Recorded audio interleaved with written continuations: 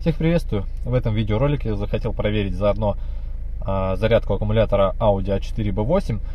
У до рестайлинга существует проблема о том, что а, силовой кабель, который идет от генератора, со временем с ним что-то происходит, он окисляется, контакты окисляются, и ток заряда на аккумулятор поступает уже очень маленький.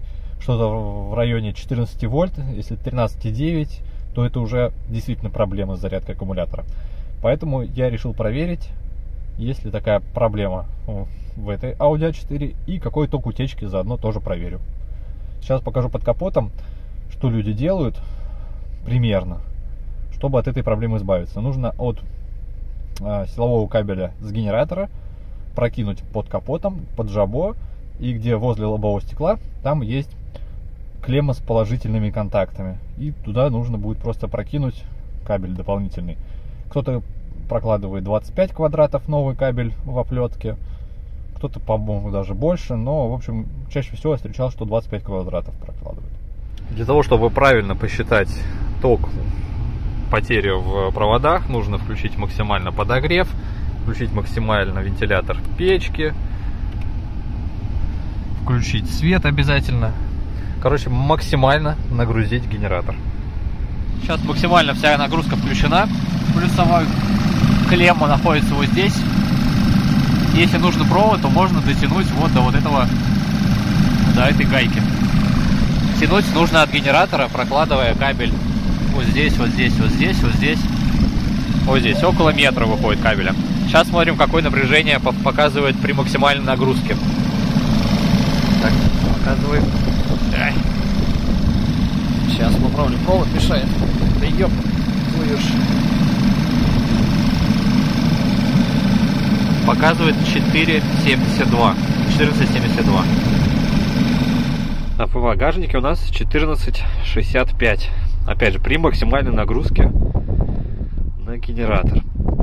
Теряется, получается, меньше, чем 1 десятая вольта, что является, в принципе, нормой. Сейчас посмотрим, например, еще ток утечки. Двигатель остановлен. Ток сейчас потребляется около 5 ампер. Ставлю на охрану. Нажимаю на охрану. Ток падает уже до 3. Теперь ждем, когда машина заснет.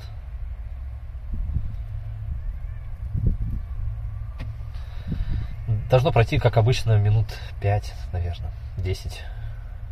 Поставил на охрану. Таким же образом сейчас буду наблюдать, что в багажнике происходит со всеми закрытыми дверьми. Ну вот сейчас еще только 2 ампера, но я только-только поставил на охрану. Вот спустя минут, минуты три, наверное, даже может меньше, ток упал до 120, скочит до 200 миллиампер. Еще чуть-чуть подождем, но здесь ток явно меньше, чем ток утечки меньше, чем на Audi A6. Что ж, прошло 10 минут, смотрим какие показатели.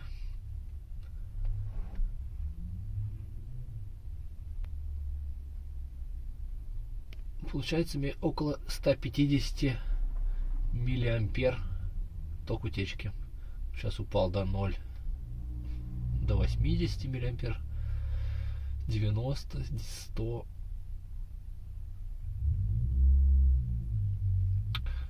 ну короче от 80 до 150 ток утечки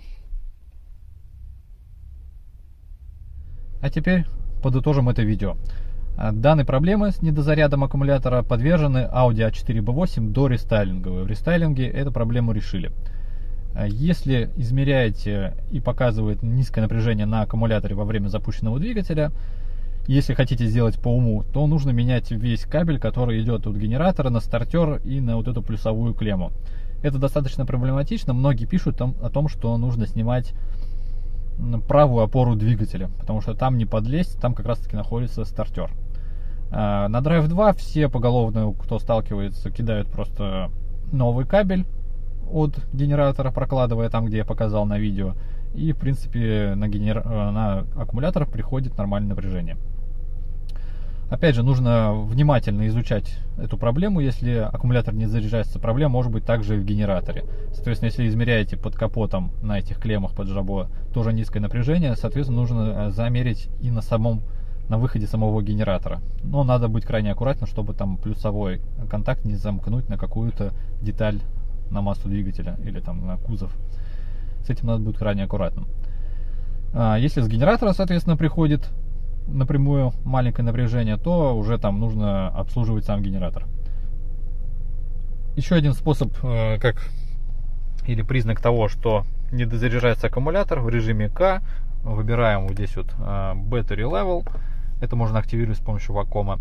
И здесь в процентном соотношении показывается не уровень заряда аккумулятора, а вероятность того, что двигатель будет запущен. Соответственно, если он ниже, чем 100%, это такой вот звоночек о том, что хорошо бы проверить вольтметром, что у вас приходит на аккумулятор.